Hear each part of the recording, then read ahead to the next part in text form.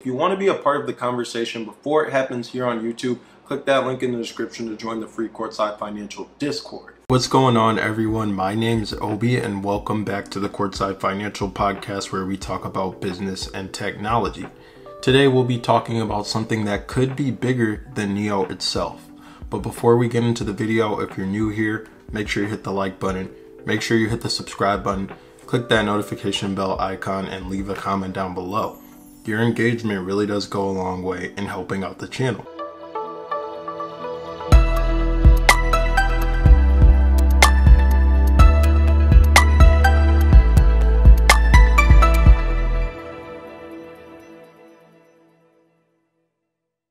Alright, so I wanted to make this video today because a lot of people are very negative about NIO these days and really worried about NIO these, these days. However, I'm pretty optimistic and I think that the Alps brand, the sub brand that NIO is rolling out next year, has the potential to be very successful, if not more successful than NIO. I think it could be more successful than NIO. There's a couple reasons why, and we'll get into them in this video. Number one is that Alps is targeting a different market segment than NIO. If you know NIO, they are in the premium space. The premium space is not accessible to all, and so NIO wants to widen their reach with the Alps brand, making mass market vehicles.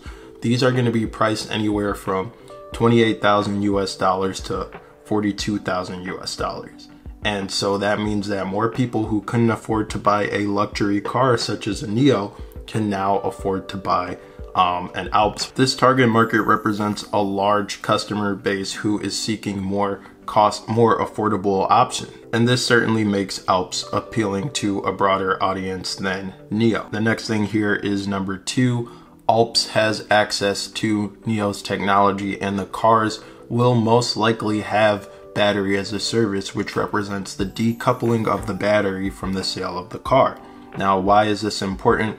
Uh, and why am I putting this as number two right after number one? Because we already mentioned that Alps is going to be around the 28,000 to 42,000 price point. But when customers choose battery as a service, the option to rent the battery but own the car, it also makes the purchase price of the car around $10,000 cheaper. So we're already talking about a brand that's going to be pretty affordable and now by using battery as a service, which is something that NIO does, you'll be able to reduce the cost of the car even more. I see this as something that can really crush the competition on the lower end. And when you couple that with tax exemptions and government subsidies and all the things of that sort, it just makes it a no-brainer for many and I definitely see this having the potential to NIO reach scale and really outsell the competition. Now, number three is piggybacking off of number two. There's going to be increased demand because of battery upgrades. Now, battery as a service, like we mentioned, decoupling the battery and the car. A lot of reasons why people aren't buying electric vehicles today is because they're worried that newer, better battery technology is coming out over time. And so if they wait, they can get more range and the cost of electric vehicles is also going down over time. Um, that's another reason, but that's besides the point I'm trying to make here. The point that I'm trying to make here is that when newer batteries come out that are going to provide more range for a given vehicle, anyone who is part of the NIO or the Alps brand is going to be able to upgrade to those batteries. And that's going to provide more revenue for NIO, so that's a good thing, but it's also going to incentivize people to buy the car right now because they're not range locked and they don't have to worry about battery degradation as much as somebody who purchases outside of these two brands, Alps and NIO. And now we're going to piggyback off of that again to point number four is resale value preservation. So obviously electric vehicles don't depreciate as much as ICE vehicles, but they still do depreciate. And one of the main reasons for that is because of battery degradation. Over time, you know, batteries don't have as much range as they had when they started. But being able to swap out to a newer battery whenever the newest battery comes out means that customers don't have to worry about battery degradation.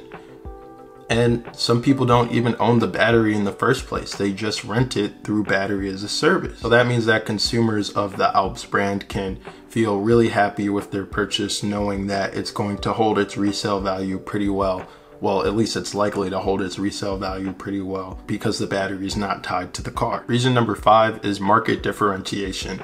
Similar to the relationship between Volkswagen and Audi, the Alps brand is going to be a sub brand of NIO that operates completely independently and it's going to have its own um, R&D and management as well. This will allow Alps to carve out its own niche and attract its own set of consumers. Consumers who are looking for alternative options within the NIO ecosystem. Reason number six is historical precedence in the automotive industry. Now, what do I mean by that?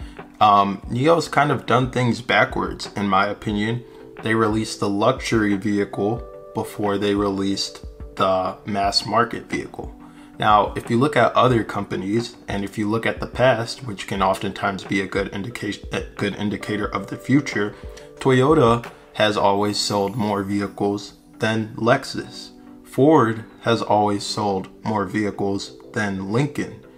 Honda has always sold more vehicles than Acura. So you can put two and two together and tell me what does that say about Alps and NIO. A wider market just means more sales. It's common sense. So anyways, by effectively targeting a specific market and leveraging battery as a service, but also providing value to consumers, I think that Alps has the potential the potential to be very successful, if not more successful than NIO. Its competitive pricing, battery upgrade options, and preservation of resale value set it apart from a lot of the competition. And so it makes it an appealing option for consumers who are looking for affordable future-proofed vehicles. That's going to be it for this one. Definitely want to know what you guys think. I think this is huge. This is definitely a huge consideration for NIO's future. And if you don't know that, you need to know now. But anyways, like I said, wrapping up here, I will catch you guys in the next video. Make sure you hit the like button, make sure you hit the subscribe button, leave a comment down below, and click the notification bell icon. Thank you.